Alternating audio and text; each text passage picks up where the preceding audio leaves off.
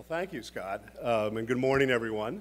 Uh, what a great uh, auditorium this, and I think if we had facilities like this, we probably wouldn't have had the need to start the corp uh, back then. And it's nice of you all to make it. Um, I note, noted the hungover uh, remark, Scott. My son is here, who's a senior, and I'm hoping he's not in that condition. He, he didn't report to me on what was going on last night, but I'm glad to see he drug himself out of bed to to come here and join, join all, all of you. Um, and my, Mike referred to it as ragtag, and uh, it certainly was when you consider what we went through uh, and, and how this university looks today and how, how much you've done with the Corp. I have to tell you, I saw the photo of all of you standing, or many of you in the room, I assume, were in the photo on that poster standing on uh, Healy Steps, and uh, uh, just was blown away, you know, by how many people now are affected here and by what you've done with, with the Corp over all of these years. So it's fun for me to come back and, and meet all of you and, and talk to you.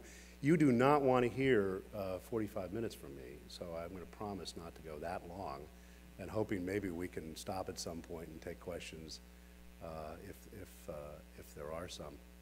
Um, I wanted to, uh, I thought the best way maybe to organize the few minutes that I'll speak to you is probably around three lessons, having gone to a Catholic university. I, all, I learned all things must come in threes, you know, the Trinity, and you know, you can't have four, and two is never enough. So we came up with three lessons that, uh, and with each of them, I'll probably pepper them with a little bit of a story uh, that will give you a sense of how some of these these things started. But first, just before the three lessons, a little bit of a word on, on the history. And I'm sorry I wasn't able to make Roger Cacchetti's, um, uh, I don't know how many of you were at the reception last night, but Roger uh, gave the toast and I understand spoke a little bit about uh, his uh, coming out with the guide with everyone's social security numbers and all of the stories of, of how the thing uh, began. Um, so I hope I don't repeat too much of what he said about the very beginning. It started in 72 as my first year, first year here, and it really was born of an era when we were all questioning authority. I mean, this was still, the Vietnam War was, was still going on. Kissinger was in Paris, engaged in, uh, in peace negotiations. Richard Nixon was in the White House. George McGovern uh, had just been nominated the Democratic nominee. Um, you've seen all the pictures, I'm sure. Students were retreating, literally retreating onto Georgetown's campus to escape uh, the riot police that were stopped at the gates at 37th and O. Um, it was a time of the SDS had a little bit, uh, SDS was Students for a Democratic Society, which would today be classified, I'm sure, as a terrorist organization, close to Al Qaeda. They had, a, uh, they had a townhouse about three townhouses down from the front gate on the left they owned a townhouse and had their headquarters there. So this in many ways was an epicenter for a lot of the student activism that was going on at the time. Fortunately, at Georgetown, we didn't burn down buildings like they did at places like University of Wisconsin and Madison and others. But you have to kind of imagine the time when tear gas was all over the front lawn and riot police with helmets and kids running and camped out in tents uh, on, uh, you know, surrounding the Carroll statue. It was a pretty amazing, pretty amazing time. And of that time was born this corporation, as much, frankly, as a political statement as it was a business enterprise. Students of Georgetown, Inc. was something that uh, the early founders, Roger and others, really, and Doug Kellner, by the way, well, I don't know if Doug has been mentioned or he was here. Doug was my predecessor and was very important to, to those early days. Uh, but they themselves were real activists, and they um, questioned, we, we felt very free to question authority here at Georgetown. I remember uh, once when we were upset about rising tuition, we backed up a, a truck load of, a dump truck load of lemons and uh, literally uh, dumped them all on the stairs in front of Healy and then took baskets of them and dumped them in front of the president's office up on the second floor and sat outside of his office, had a sit in for, I think, a couple of days until they finally kicked us out. Nobody got arrested. Uh, but uh, uh, that was, you know, that was what was going on. And, and when I, um, I, I ran for, uh, um, I don't know what you call it now, student, it was student body president back then, but I ran, I ran my sophomore year, um, primarily because Doug uh, and Roger uh, had wanted me to. I was involved in the, in the corp. Um, I don't know what my title was, but my freshman year, and they thought it'd be a good idea to run your sophomore year, which is a year earlier than you normally do. And, and my platform was really all around the corporation. And the corp was something at the time that um, a number of us felt um, could, you know, move beyond. It, it, we already had a number of things like a travel service and a record store and a few other things, but that could really address, um, as, as Mike was saying, address social uh, so needs on campus that were not, uh, that were not being addressed.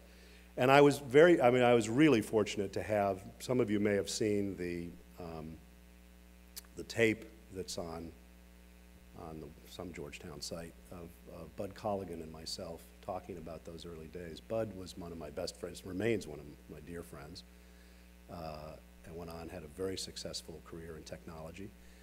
Uh, but he, you know, there's always got to be, and I'm sure there is in the Corp today, those, you know, real stalwarts who work the long hours and make sure it happens and are so totally dedicated. And Bud was that kind of partner of mine who really should get most of the credit, I think. And I mean, he was the one who literally, for Vital Vittles, it was our friend Nancy who came up with the name Vital Vittles and wrote it on the back of a piece of cardboard. And, and Bud was the one who got a pickup truck and went down to some library that was being dismantled in D.C. somewhere and got a bunch of old wooden uh, bookcases and brought them up and we stacked them with Oreo cookies and a few other things and opened up in New South what we then called Vital Vittles and that was the first day and it was Bud who went out and bought the Oreo cookies from Stop and Shop or someplace around here and we just sold them at no profit, and eventually had a little, had a little, you know, metal box that we kind of kept and hope, hope that nobody took any beer money out, and that's kind of how the, how the whole thing started. So the three lessons I'll tell you, and I'll give you some stories around them, and boy, they are about as basic um, and and simplistic as you'll ever hear. So you're not going to have to take any notes, um, and you certainly aren't going to get any blinding insights. But they're kind of good, basic lessons in life. And the first one, which I've already referred to, is, you know, don't accept the status quo. Um, you know, you, uh, and Mike, Mike referred to this when he said services no one else will offer. We had um, uh, travel agency, we had a record store.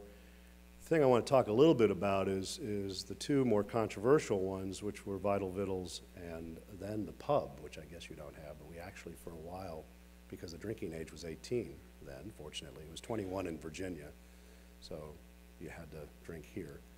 Uh, and we opened up in the, in the basement of Healy for a while a pub, which basically consisted of a keg of beer and some plastic cups.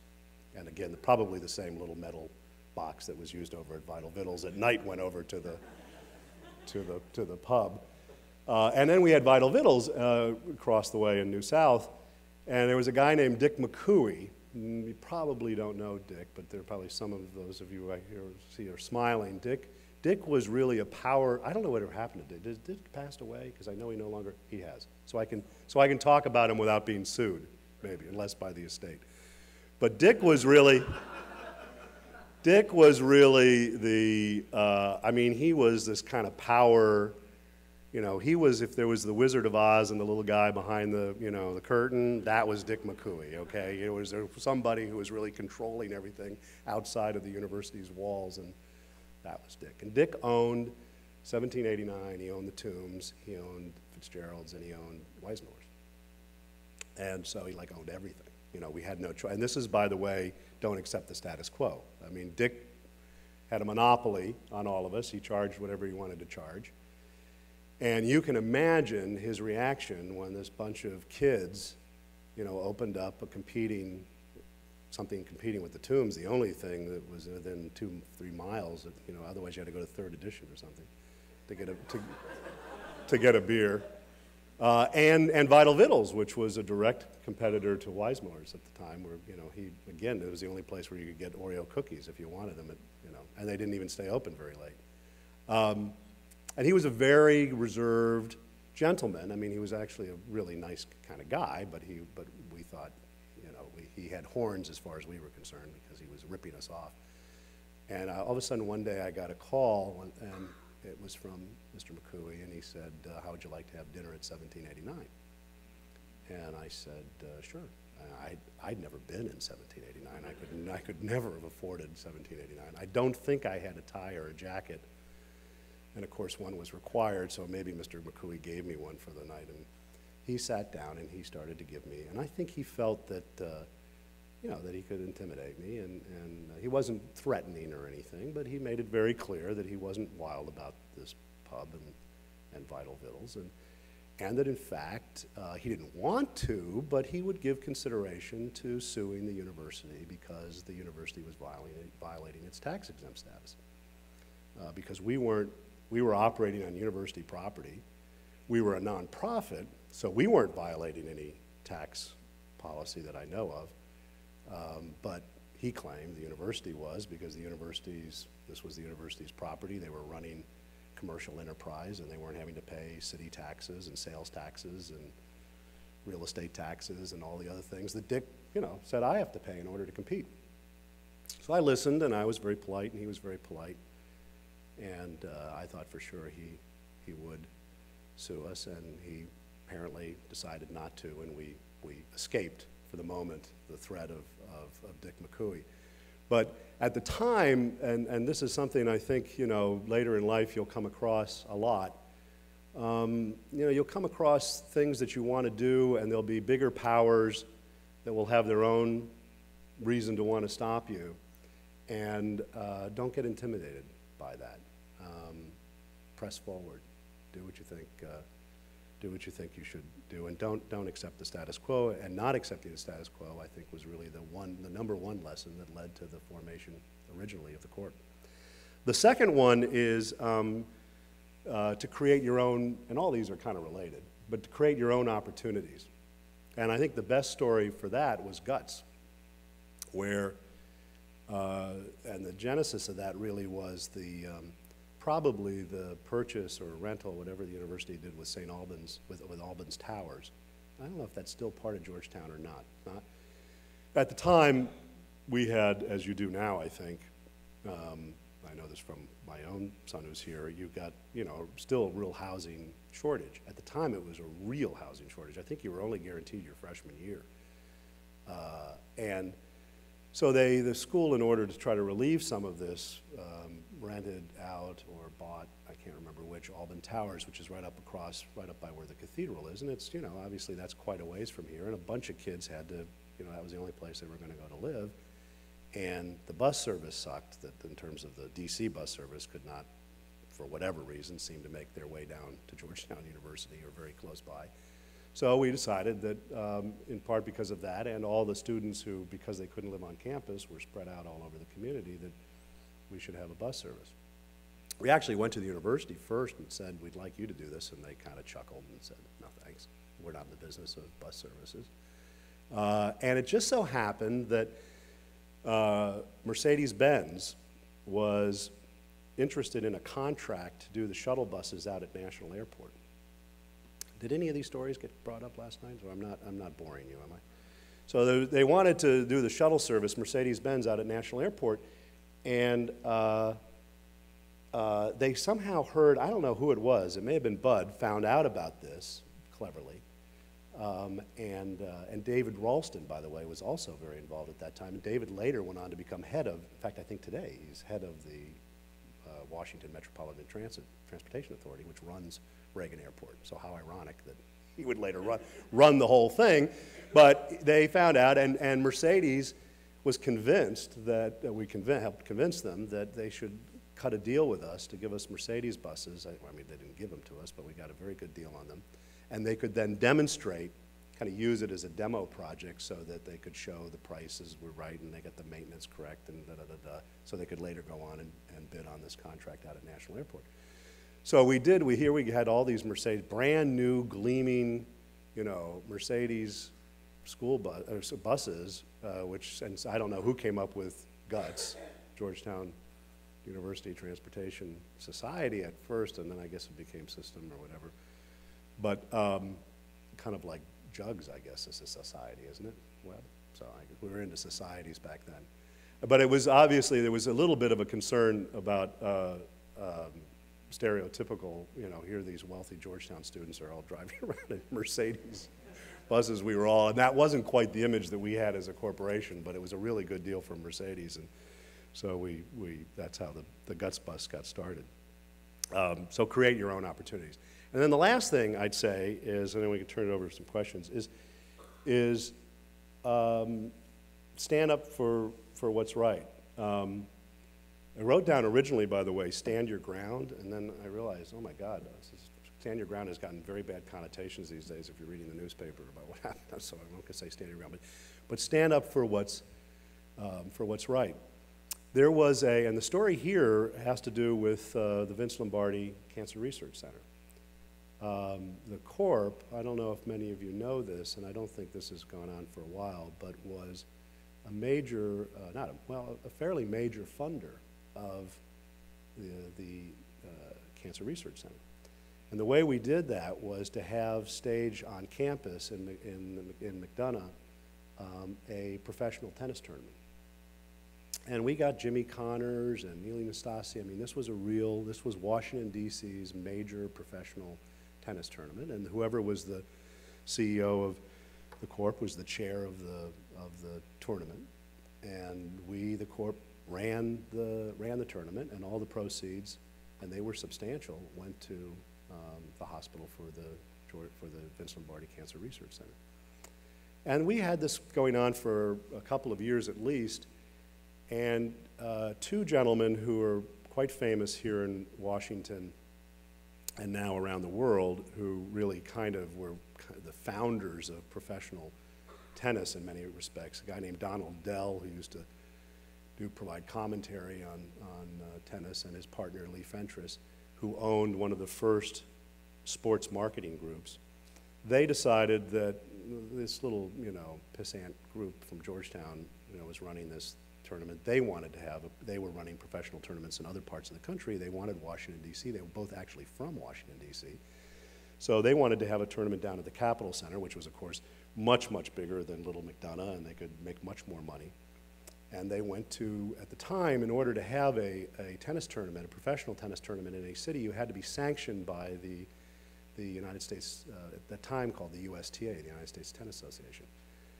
And um, these guys, who were extremely powerful in the tennis world, managed to get our sanction pulled by the USTA, even though we had been running it for, for, for a number of years. And uh, this is the stand up for what you know what you feel is right. We decided we would sue them, and we sued uh, Donald Dell. He was also representing Arthur Ashe. I mean, I think even Arthur Ashe may have been a defendant. And we sued them on violation of antitrust. Uh, that the, uh, they had no right to uh, prevent us from having our tournament, that in fact the whole sanction process was a violation of antitrust. And so this blew up in the whole tennis world because we now had a lawsuit that went to the whole basis of how professional tennis was organized. And we did this because we thought we'd just make their lives difficult. And I had an office, and I, I had my office was down, I don't know where your office is now, but mine was in the basement of the Healy building. It's actually a very cool office that you had for the president of corporate. That was kind of vaulted thing.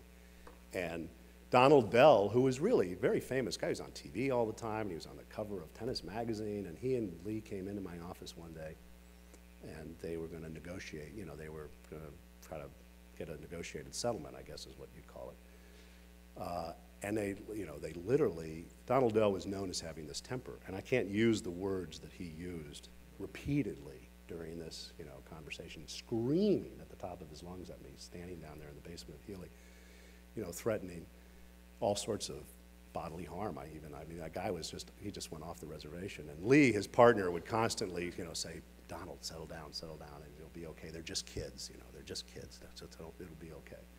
Uh, and eventually, we eventually we settled. The USTA backed down. Uh, they sanctioned uh, uh Georgetown uh, for the tournament. Um, the other guys were defeated, and they kind of had to do a deal with us uh, a year later in what became the Volvo Volvo tournament. But you know, just a, again, a case of, of don't let people kind of push you around and, and stand up for what's right, and, and, um, and you can see how important that is in, in the legacy.